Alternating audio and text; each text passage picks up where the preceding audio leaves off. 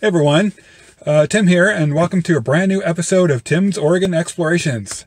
So today I am at um, the Short Covered Bridge, which is a mile and a half uh, north of the town of Cascadia on uh, Highway 20. Um, I'm actually just returning from uh, Newport. Um, I'm heading back to Bend. Um, I've been in Newport for the last the last few days, so I, I'm actually headed heading back back to Bend right now.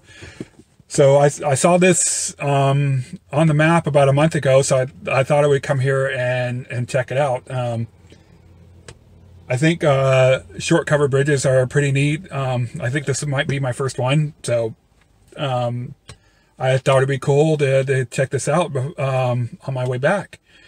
So please follow me.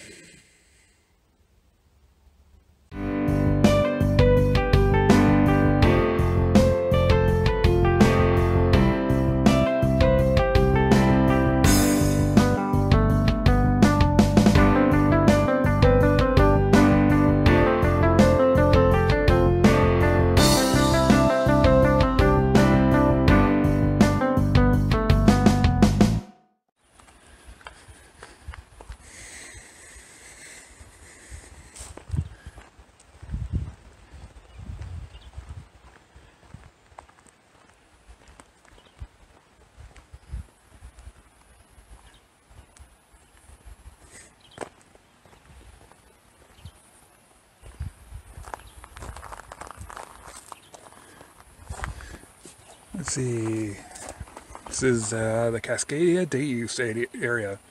Cascadia, a ranger station for 30 years. Construction began in 1930. The original ranger station was located between the Willamette Valley and the Santiam National Forest in the scenic, easily accessible, low elevation site.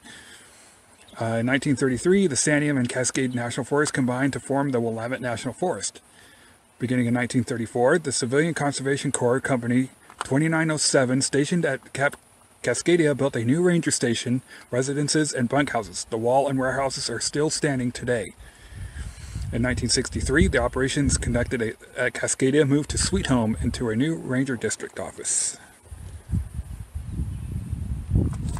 Uh, let's see. Phone lines ran from the valley over to the eastern part of the state where and were maintained by the CCCs and early rangers. These lines were a critical means of communication among the Forest Service lookouts watching for fire starts in, in the Santiam National Forest. Uh, the CCC operated at Camp Cascadia from 1934 to 1939. They built 35 miles of road, 80 miles of trails, 17 miles of telephone lines, 6 fire lookouts, 8 bridges, and 4 campgrounds. Today, lichen and mosses carpet this historic site. Lichens are composed of fungi and algae, while mosses are smaller green plants. Both provide food, shelter, nesting material for insects, spiders, mites, birds, and animals.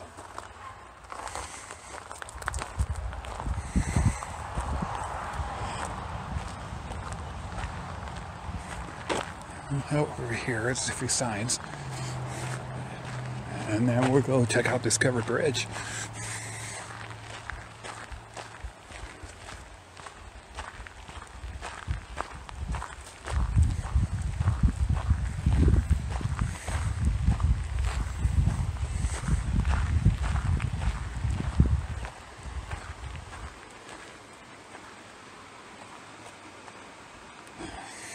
Yeah, there's a sign right here, but it's very tough to read. It's all dirty.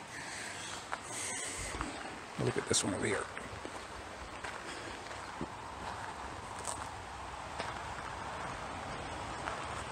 See, a reminder of Oregon's past uh, covered bridges. Covered bridges are one of the Oregon's Oregon's little secrets. In fact, with 51 covered bridges, Oregon has more covered bridges than any other state west of the Mississippi. Why Oregon? The rain the rain. Pioneers didn't put roofs over their bridges just for fun. Uh, covering the wooden bridges kept them from rotting away in the northwest damp weather. But bridge, bridge builders are practical people, and once steel and concrete came into widespread use, there was no need for quaint little roofs on bridges. Time marches on.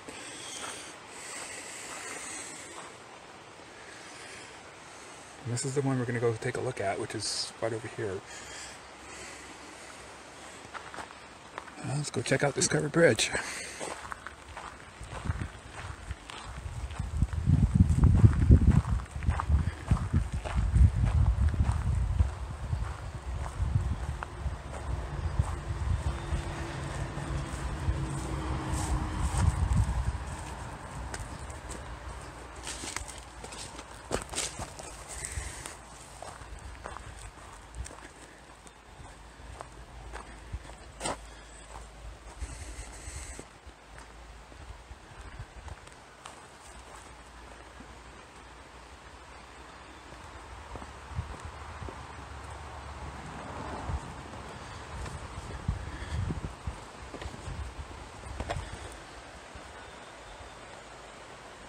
Let's see if I can get closer to that sign.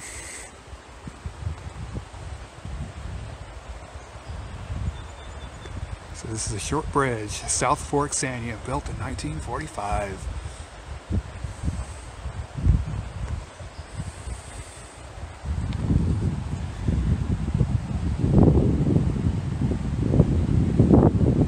So this is the uh, it's a really cool covered bridge.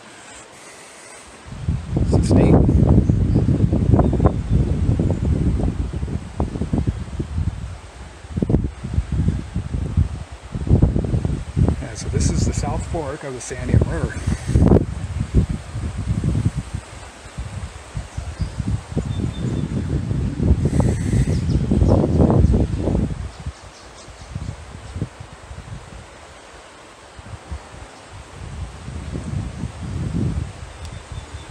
It's a nice covered bridge.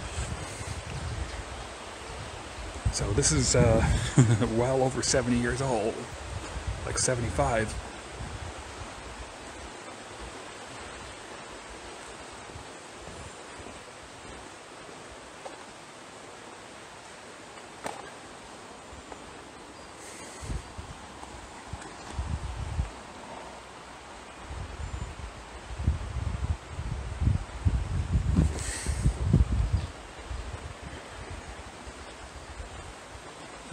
Cool, huh?